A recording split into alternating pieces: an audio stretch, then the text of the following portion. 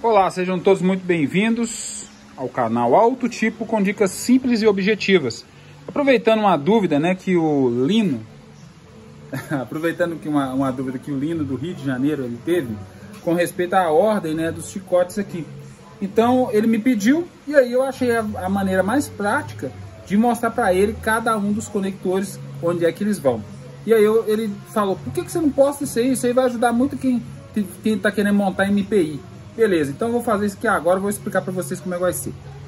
Então vamos lá, né? Chicote, primeiramente, vai passar lá para dentro do carro. Tem dois, duas, duas partições aqui no canto que vai passar o chicote lá para dentro, né? Beleza, passou lá para dentro, bacana. Para poder passar lá para dentro, inclusive, tá? É, tem, uma, tem que ter uma estratégiazinha bacana aqui para poder conseguir passar primeiro o conector, depois os, os relés. Eu não lembro a sequência que eu, que eu passei. Mas você, nas dificuldades, você vai conseguir entender e saber qual que é a sequência. Beleza. Aqui atrás da, da parede corta-fogo existem três conectores.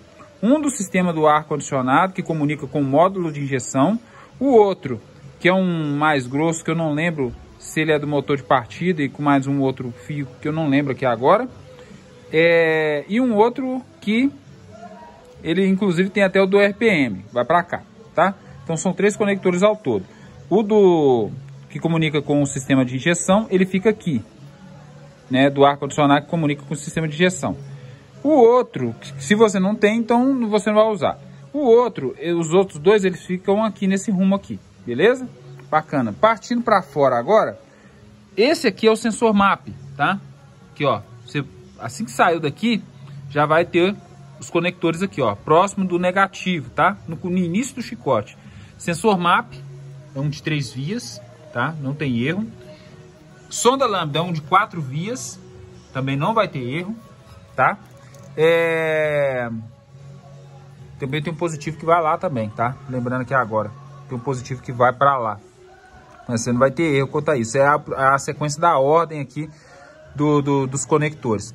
Então, sonda lambda e sensor MAP são os primeiros aqui. Beleza? Os negativos, tá? É, aí o primeiro aqui que vem passando para cá, já vira para cá. Esse aqui é do sensor de rotação, tá? Depois, primeiro bico, segundo bico. No meio deles vai ter o do TPS. Aqui. Terceiro, quarto bico saiu, já vai ser o do sensor de temperatura do ar. Passou aqui. O, o outro aqui, antes dele, né? Tem o sensor de temperatura da água aqui, ó. Que vai lá embaixo, que é o azul.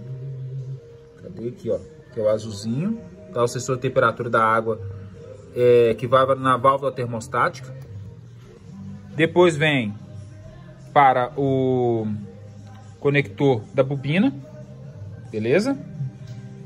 Passou, dando continuidade. Vem para cá. O cinza, tá? Esse cinza, ele é do atuador de marcha lenta. Depois descendo aqui, o sensor de detonação, que é um de três vias também. É o último da ponta aqui, ó. Que vai aqui embaixo aqui, o sensor de detonação. Vindo ainda, tava esquecendo aqui, ó, da válvula canister, tá? Antes ali, ó, antes de vir para cá, né, ainda tem o da válvula canister aqui.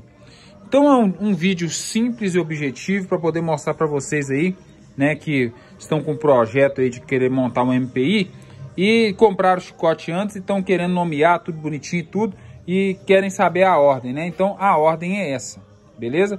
Só vocês verem se ficou com dúvida, volta o vídeo, pausa no momento certo que você precisa para poder identificar cada um deles que você não vai ter dúvida, beleza?